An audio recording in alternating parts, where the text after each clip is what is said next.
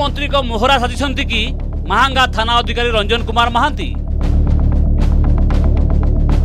Mahanga double murder ଘଟଣାର ତଦନ୍ତକାରୀ ଅଧିକାରୀ ଭାବେ ସାଲେପୁର ଜେଏମ୍ଏଫ୍ସି କୋର୍ଟରେ ଥାନାବାବୁ ଦାଖଲ କରିଥିବା ଏ ଦୁଇ ଆବେଦନକୁ ଦେଖନ୍ତୁ। ପଚିଶ ନଭେମ୍ବରରେ ଥାନା ଅଧିକାରୀ ରଞ୍ଜନ ମହାନ୍ତି ଲେଖିଛନ୍ତି ଅନ୍ୟ ଗୁରୁତ୍ୱପୂର୍ଣ୍ଣ ମାମଲାର ତଦନ୍ତ ସହ ଆଇନ ଶୃଙ୍ଖଳା ରକ୍ଷା କାମରେ ବ୍ୟସ୍ତ ଯୋଗୁଁ ମାହାଙ୍ଗା ଡବଲ ମର୍ଡର ଘଟଣାରେ ସେ ସିଡିଆର୍ ଦାଖଲ କରିପାରୁନାହାନ୍ତି। ଏଥିପାଇଁ ମାସେ ସମୟ ଦରକାର ବୋଲି କହିଛନ୍ତି ଆଇଆଇସି।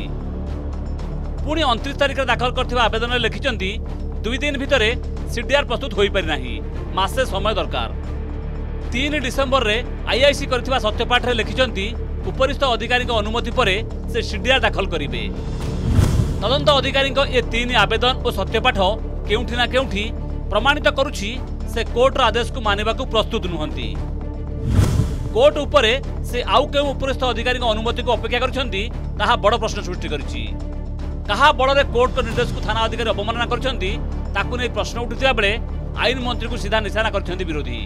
ମାନ୍ୟବର ଅଦାଲତଙ୍କର ନିର୍ଦ୍ଦେଶକୁ ବାରମ୍ବାର ସମୟ ମାଗିକି ଆଇଓଙ୍କ ଆଡ଼ୁ ଇଏ ସିଧାସଳଖ ଭାବେ ପ୍ରମାଣିତ ହେଉଛି ଯେ ସରକାର ଏବଂ ଆଇନ ମନ୍ତ୍ରୀ ସମ୍ପୂର୍ଣ୍ଣ ରୂପେ ଇଏ କେସ୍କୁ କେମିତି ରଫା ଦଫା କରେଇଦେବା କେମିତି ବିଳମ୍ବିତ କରେଇବା ଇଏ ପ୍ରମାଣିତ କରିଦେଉଛି ସରକାର କେଉଁଭଳି ଭାବରେ ଆଇନକୁ ସମ୍ମାନ ଦିଅନ୍ତି। ଇଆଡ଼େ ସାଲେପୁରରେ ଜଣେ ପ୍ରଥମ ଶ୍ରେଣୀ ମାଜିଷ୍ଟ୍ରେଟ୍ ତାକୁ ପୋଲିସ ଯେମିତି ବେଖାତିର ମନୋଭାବ ଦେଖାଉଛି ତାଙ୍କ ନିର୍ଦ୍ଦେଶ ପାଳନ କରୁନାହିଁ ତା ଉପରେ କଡ଼ା ପଦକ୍ଷେପ ନେଇଛନ୍ତି ମାଜିଷ୍ଟ୍ରେଟ୍। ସେଠି ବି ତ ମୁଖ୍ୟମନ୍ତ୍ରୀ ଚୁପ୍।